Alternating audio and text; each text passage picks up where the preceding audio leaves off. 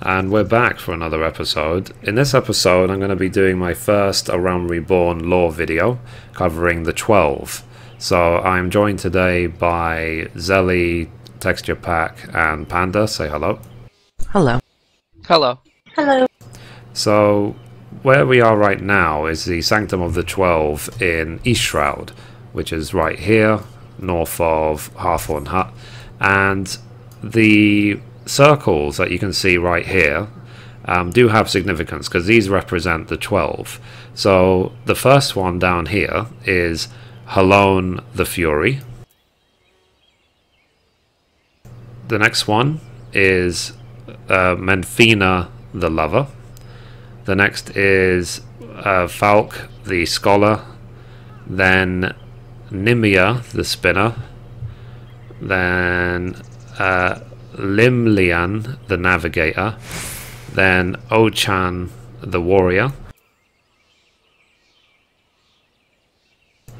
Then Byregot the Builder. Rhalgr the Destroyer. Azeyma the Warden, Nal Nald'thal the Traders, Nophica the ma Matron, and Althyk the Keeper. Now, in Final Fantasy XIV A Realm Reborn, the 12 represent the greater power, let's say. So the creator of everything essentially is Hydaelyn, which is the big crystal, the big white light crystal which gives you all of your power and protects you from the primals and so on. But the 12 were also created by Hydaelyn to serve Hydaelyn essentially. So, reading from um, a Final Fantasy website, a wiki website, which I'm going to link in the description, it says the 12 are the Pantheon of Eorzea in Final Fantasy XIV, consisting of 12 benevolent deities who ruled the continent and its surrounding islands until the arrival of the wandering tribes. During the game's character creation, players must align to one of the 12's uh, deities which slightly affect elemental resistances. Now, the way to check if you can't remember which one you're aligned to is to open up your character window, go to Profile, and it's right here Guardian. So in my case, I'm aligned with Oschon the Warrior. And one thing we're going to be doing in this video, we're going to be visiting um, each of the stones around the game, which has bears the mark of one of the 12, and then we'll explain a bit more about the 12 as we go. And we're going to do it in the order that I stated, starting with the first one, which is Halone the Fury. So, let's go. Okay, so we've arrived at the cave uh, called the Fury's Gaze, which is at 731 in Coerthas Central Highlands, and this is the place of Halone the Fury. And on this rock, you can just barely, if I indicate with my mouse, make out the three spears. Barely. So this is the location for Halone the Fury. And it says, Halone, mover of glaciers and goddess of war, commands the elements of ice, and is tied to the first astral moon, as in the first month. She is depicted as a relentless warrior holding a bronze great shield, and her symbol is three spears. Halone is also the patron of the Holy See of Ishgard and is bitter rivals with Nophica. Okay, so if we do maybe a slash pray for this rock as part of our quest to visit the 12.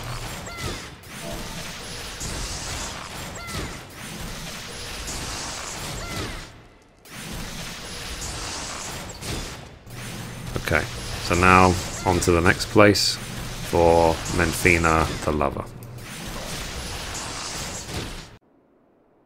So now we are at the stone of Menphina the Lover, and this is located in Coerthas Central Highlands 22.8. So this is her symbol. It says Menphina, keeper of the once twin and now lone moons, and goddess of love, commands the elements of ice and is associated with the first umbral moon, as in the second month. She is depicted as a maid carrying a round skillet. Her symbol is the full greater moon, sister of Azeyma and the divine lover of Oschon. Okay, let's do a quick slash pray.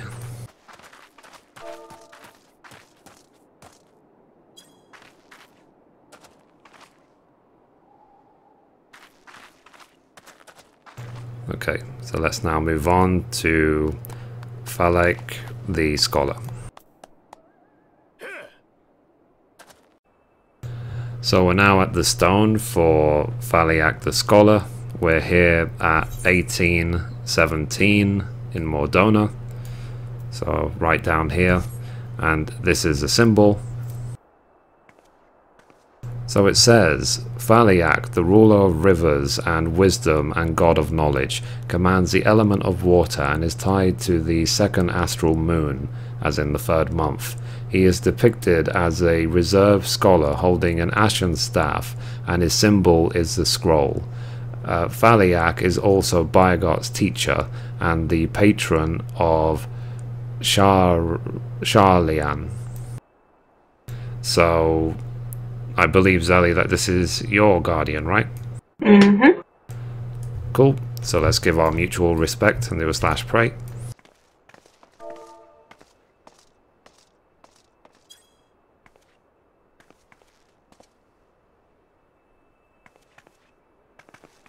And now on to the next one, Nymeia the Spinner. Okay, so we're now here with Nymeia the Spinner. We are at Lower La Noscea 2637, which is right here, just southeast of Moraby Dry Docks. So it says, Nymeia, the watcher of celestial bodies and goddess of faith, commands the element of water and is associated with the second umbral moon, as in the fourth month. She is depicted as a weaver donning a white silken veil. Her symbol is the spinning wheel, elder sister of Althyk and master of Rhalgr. Okay, so let's show our respects. I believe that this is Panda's guardian as well. Yep. So let's do slash pray.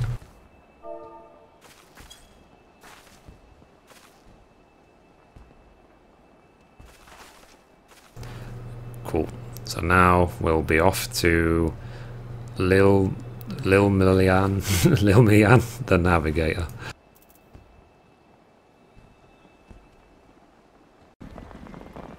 Okay, so now we are here with uh, the navigator, and this is actually located in Limsa Upper Decks 714.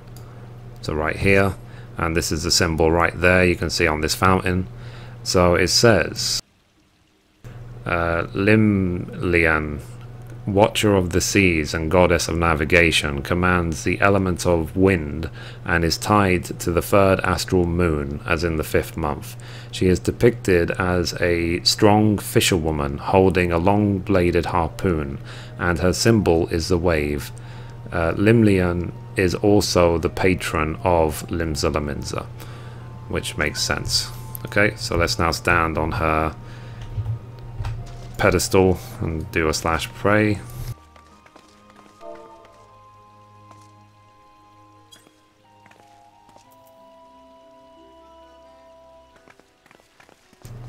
Okay, so now we're going to be off to my guardian, who is Oschon the Wanderer.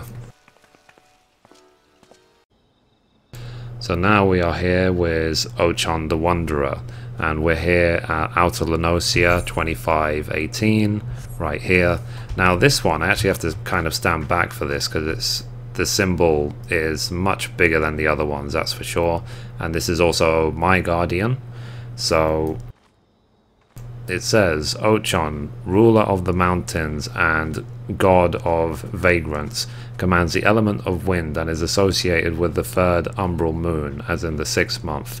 He is depicted as a carefree ranger wielding a bow of yew. His symbol is the walking stick. Brother of Nald'thal and close companion of Halone. He was the patron of the ancient city of Nym. Cool. So, and I decided to have him as my guardian as well because of the fact he's a ranger and has bow and arrow and so on as well. So, let's do slash pray.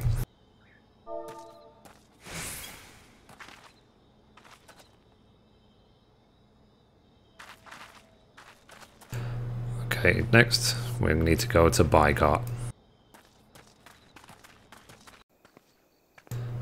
And now we are here with Byregot the Builder. We are here at 1527 in South Shroud, just northwest of Camp Tranquil, and you can see the symbol right here. So it says Byregot, purveyor of architecture and industry and god of the arts, commands the element of lightning and is tied to the fourth astral moon, as in the seventh month. Byregot is depicted as an ardent smith holding a two-headed hammer, and his symbol is the hand.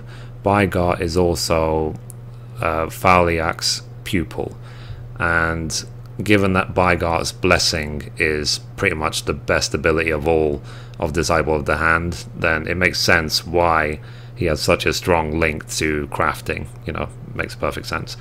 So, okay, let's do a slash pray.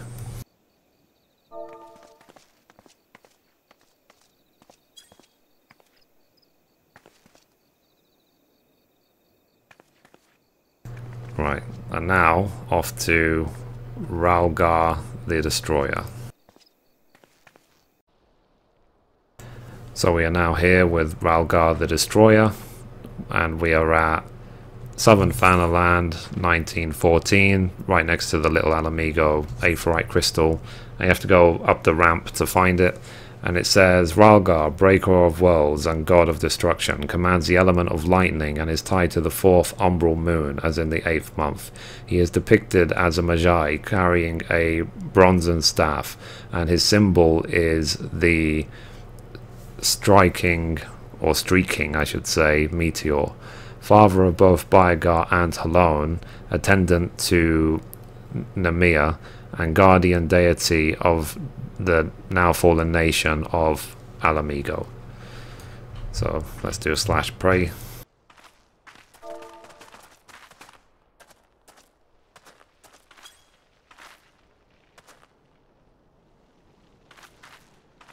Because whether they're, you know, ruler of destruction or ruler of love, you know, they're still a ruler, so there has to be respect shown in terms of law and whatever. So next is Azeyma the Warden. So let's go. So we're now here with Azeyma the Warden and the location is 2429 Eastern Thanalan, so that's Camp Drybone there, we're right here, and there's a random bottle on the floor as well. So it says, Azeyma, keeper of the sun and goddess of inquiry, commands the elements of fire and is tied to the fifth astral moon, as in the ninth month. She is depicted as a noble lady holding a golden fan, and her symbol is the radiant sun, even though you can barely make it out for some reason. So, okay, let's do a slash pray.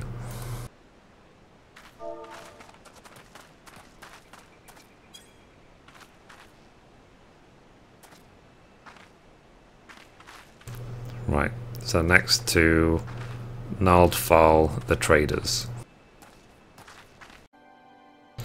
So we're here with Nald'thal, the traders, and Nald'thal has actually got two locations in Ul'dah.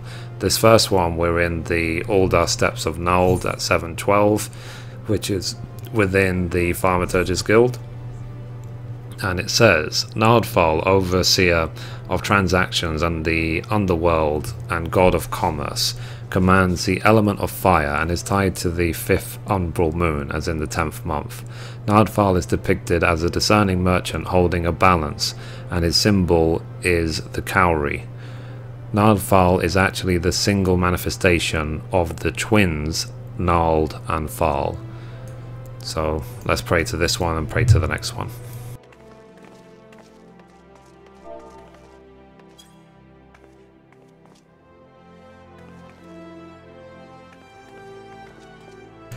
Okay, so the quickest way to get to the other one is to teleport using the Aethernet straight to the Miners Guild, and it's a short run from there.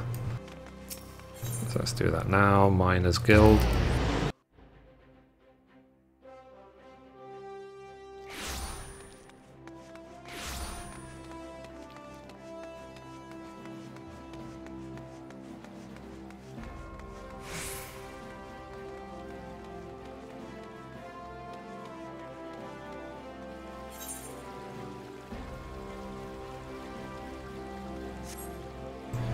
You see the symbol anywhere? Nope.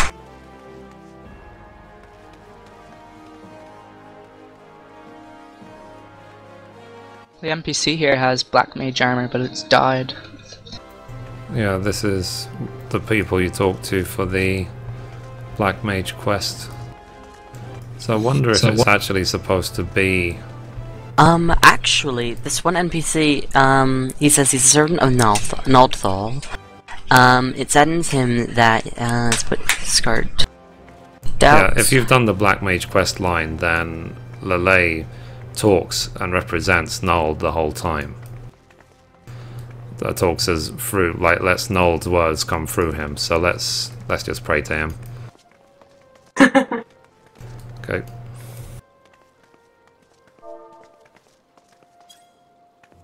We pray to you, O Lalafell. Right. So next is Nophica the matron. So let's go. And we're here with Nophica the matron. So this is located at 712 in Old Gridania.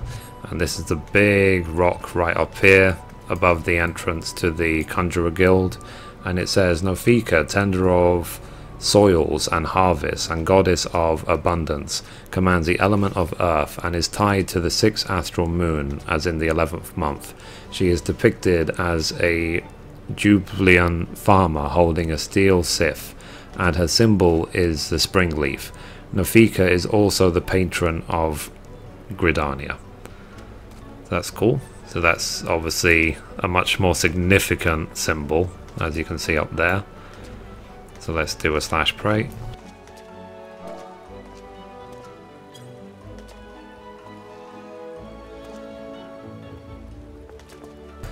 And last but not least, we need to go to Althyk the Keeper. And here we are with the 12th and last of the 12 called Althyk the Keeper. We are here at 2325 in South Shroud, next to the entrance of Vanderpool Keep, just south of Quarry Mill. So it says, Althyk, the surveyor of change and god of space and time, commands the element of earth and is associated with the sixth umbral moon, as in the 12th month. He is depicted as an um, Aster emperor wielding a mithril great axe. His symbol is the hourglass. Father of Azeyma and Menphina, and elder brother to Nymeia.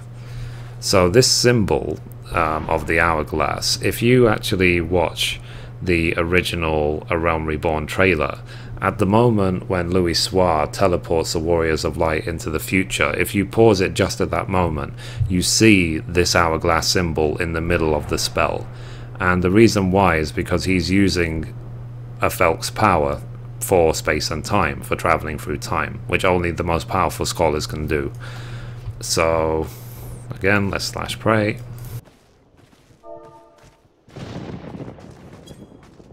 In remembrance. Yep. And then this is also Texture Pack's Guardian as well. Yep. So now let's return to the Sanctum of the Twelve, because we have now finished our visiting of these stones, and we'll finish the rest of the lore right there. And so that ends our journey of discovery around Eorzea. We have visited all of the 12 stones around the game, and we've read a bit about each of the 12 as well. So, the overall story which is written says the 12 were likely created by Hydaelyn, the deity who created the world, which is named after her. Their exact early history is unknown, as it's possible re- relations to deity Zodiark, Hydaelyn's enemy and opposite. The Twelve took up re- residence in the land, which became known as Eorzea. Each of the Twelve commands one of the six elements, but shares it with another deity and is associated with a month of the Eorzean calendar. They held rule over the land until the arrival of the wandering tribes, the Elezen, Miqo'te, Lalafell, Roegadyn, and Hyur. Impressed by the tribe's resourcefulness and resilience, the Twelve ceded the land to them. Several of them are patron deities of Eorzea's cities. Also resident in Eorzea were the beast tribes, groups of monstrous beings who worshipped deities known as the primals. They play a crucial part in patch 1.23 of the original Final Fantasy XIV. After Nael van is defeated by a group of adventurers, the Elezen scholar Louisoix um, Levy stated that Meteor, Hydaelyn's lesser moon Dalamud, cannot be halted even with the death of Null, who was acting as a living beacon for the moon. Now, the only hope for saving Eorzea from destruction was to summon the power of the Twelve and beseech them to save the land from ruin. Their symbols appear on stones across Eorzea at this time, at which the player must pray. Louisoix goes to the Carteneau Plains in Mor Dhona, where the forces of the Garlean Empire and the Eorzean Alliance meet and battle. As they clash, Dalamud disintegrates above them, releasing the elder primal Bahamut. Bahamut proceeds to unleash its fury on Eorzea, but Louisoix, with the help of the Circle of Knowing, summons the aid of the Twelve. Their symbols appear around Bahamut in the attempt to siphon the Aether from Bahamut and reseal him. But the primal proves too strong and the scheme fails. Bahamut's fury instigates the Seventh Umbral era. In A Realm Reborn, they are compared to the primals by Gaius van Baelsar, who regards them as um, e- eikons and insinuates that they could be summoned with sufficient crystals.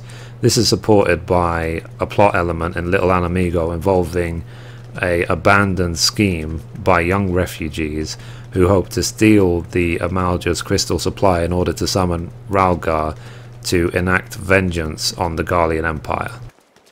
So that's basically it. So that's the story. So what they basically have said is that during 1.0 they did visit all of these stolen locations that we went to, but they've obviously been moved because given that the calamity basically destroyed most of Eorzea and reshaped it, and as well they tried their best to get rid of Bahamut, but they weren't able to.